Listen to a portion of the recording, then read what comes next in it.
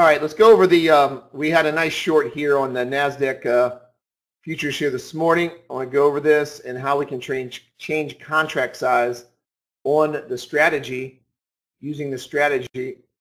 We actually, actually had a nice long here a second ago too on the NASDAQ futures, but this is the NASDAQ, the NQ.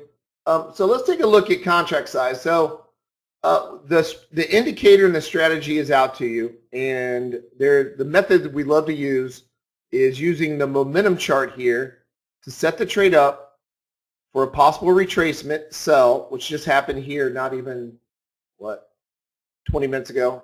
And I had another trade long here a second ago also. So um, we like to use the momentum chart to find when the markets can possibly go vertical because the worst thing you can have as a trader trying to trade retracements is a chop market. And what I found over the last 30 years of doing this is that chop markets uh, don't work very well with retracement trading.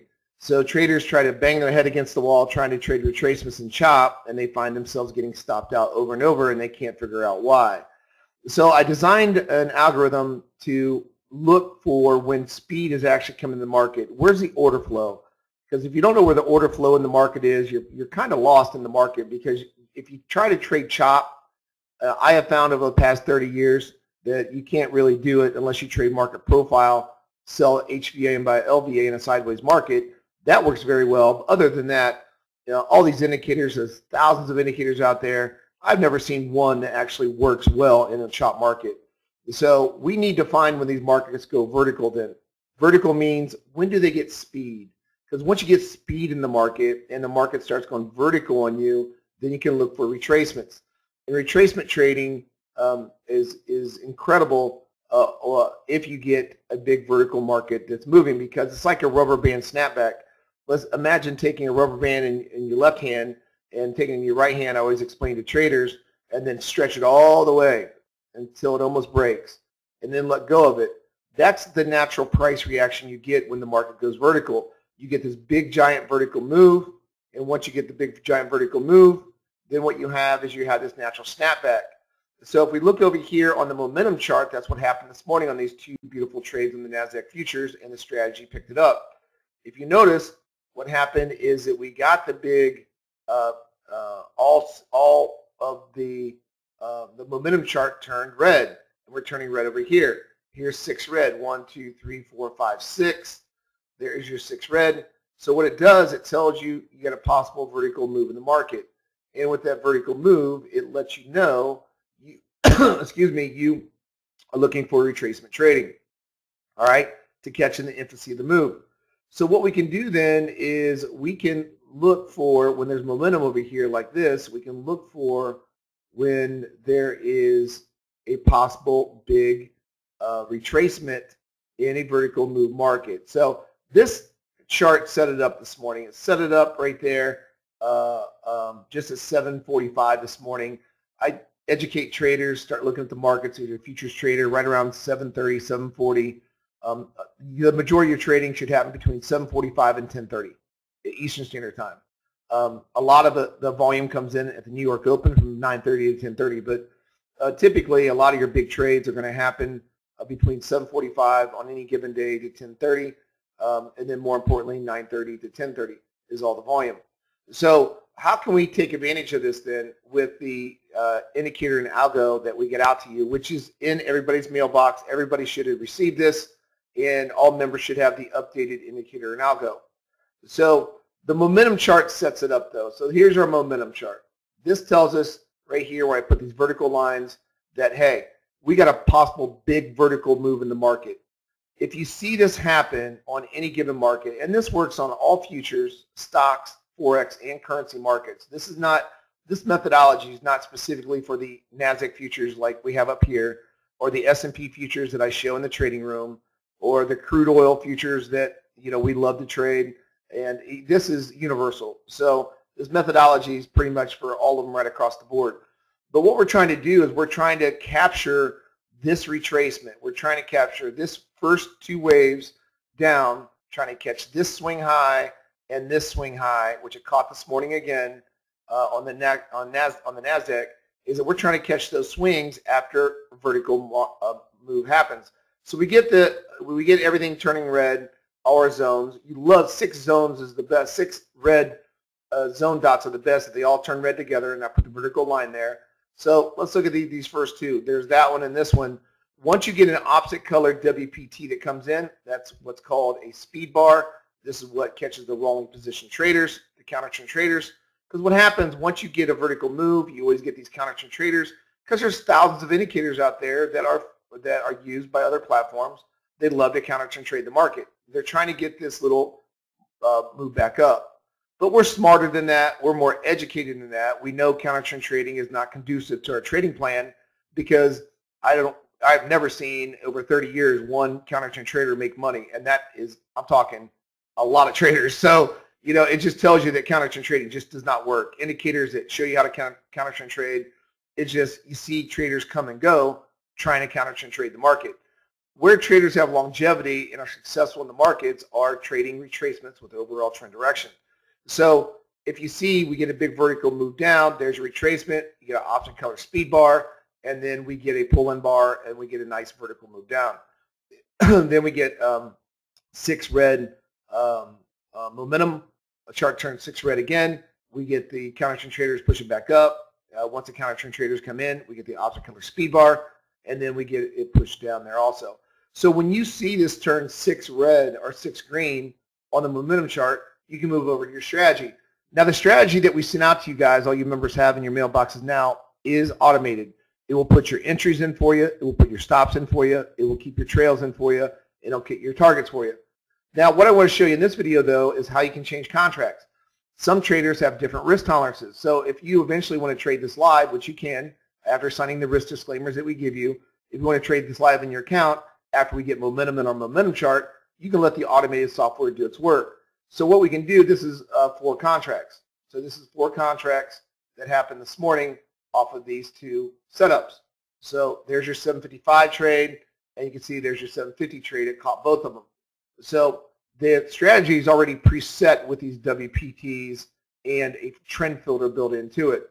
So we can see that as long as we are below my ATR and we get momentum in the momentum chart, you can turn the strategy on and it will execute your um, your contracts.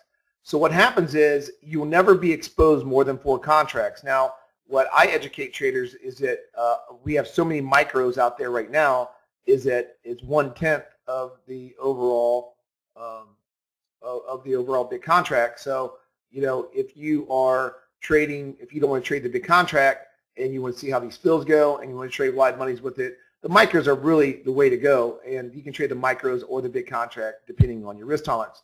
Totally up to you guys. But what you can do is is uh, the four contracts. Let's say it gets uh, it will always go short four contracts right away unless you specify and change your contracts. So the default is four contracts. It will scale, scale. On the next WPT catching the wrongly positioned traders or the counter traders short, it goes short the two that you just scaled out of. So you're never exposed until you totally get stopped out on a trail. You're never exposed more more than your uh, that you specify your ultimate short, uh, your specified number. So if you put your specified number as four contracts max, then it will scale to, it will add two back on to get you four short again. It'll scale down here again. It'll keep doing that. It'll keep doing that until we get stopped out. So it'll keep doing it and we'll go down. We'll keep going down. The runner will keep going down. There's your target. There's your target. And it'll keep doing it until eventually it will stop itself out on the contracts right there.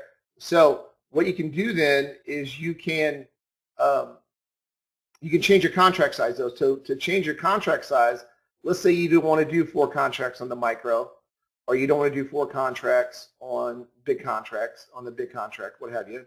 So if we go into it, let's just take a look at it. I'm going to show you how to change it. And we go into it. And once you go into it, go down to order handling. And let's go down to order handling. let's just put one contract. If we put one contract in, then it's telling the algo that you only want to do one contract with every single setup. So every WPT over here on the momentum chart, it's going, going to sell one contract here and one contract here and go for your first target. And that's it and keep your original stop in. So as you can tell, it sold one contract here and got your profit target. One contract there, got your profit target of 15 ticks. But you can go two contracts in. So let's say you can go two contracts and you're you got your specified number of two contracts in there. You can change it to two. You don't have to trade four. You can go two. And if you want to go two, you go to order handling again, and you change the entries per direction to two. Now we're going two. So if I go two, then I enable the algo. Now at the specified WPTs, it'll automatically do two contracts. It will take one uh, for your first target. The second target will be break even plus one, and then it'll go for your second target. So now you can see it got target one, target two, target one, target two. Let's say you want to do three contracts. Fine. You can keep doing this in multiples of one all the way up. And I'll go up to five, and then we'll shut this video off. I can do this all day. So let me just go to three contracts, and then we go back in here. We enable it, and now we can go into three contracts.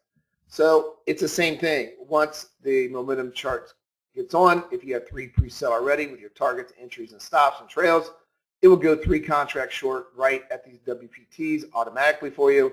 And then there's your three contracts, target one, target two, target three, target one, target two, target three. But let's say you go five contracts. Let's say you do an odd number of five. And let me show you how this thing works.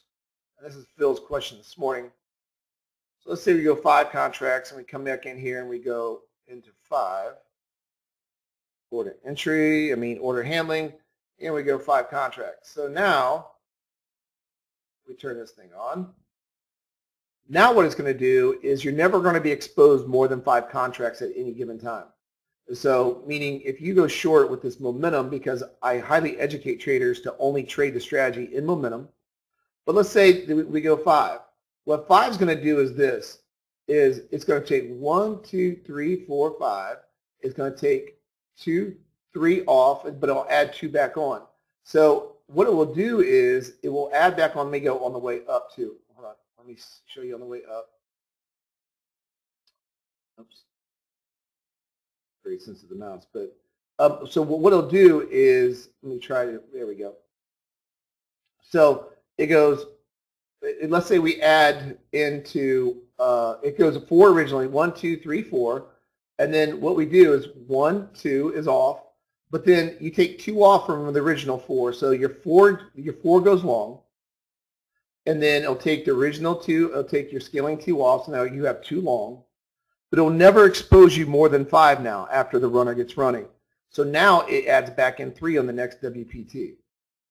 So now you're exposed back to five with two runners in three original positions, and then it scales, scales. And I'll keep doing that on the way up. So we'll only, it, it will start with your original here. It will start with your original here, and then it will scale depending on your um, scale here with your first contract, second contract. So you only got two long. But since you put five in order handling, it's going to add three more back on. All right. If you just did four and four, then it'd scale two off and add two more back on, right? So that's how you can sort of see, and you can see which way, how many contracts you want to do, but that's the best way to do it is you can change your order handling the number of contracts you want to do. It's never going to expose you more than the maximum numbers under order handling. If your maximum number is five contracts at any given run, you're never going to expose more than five. If you put your maximum number four, it's never going to expose you on the way up more than four contracts. If you go two, it's never going to expose you in the market more than two contracts. If you go one, it's, going to, it's just going to bat singles all day.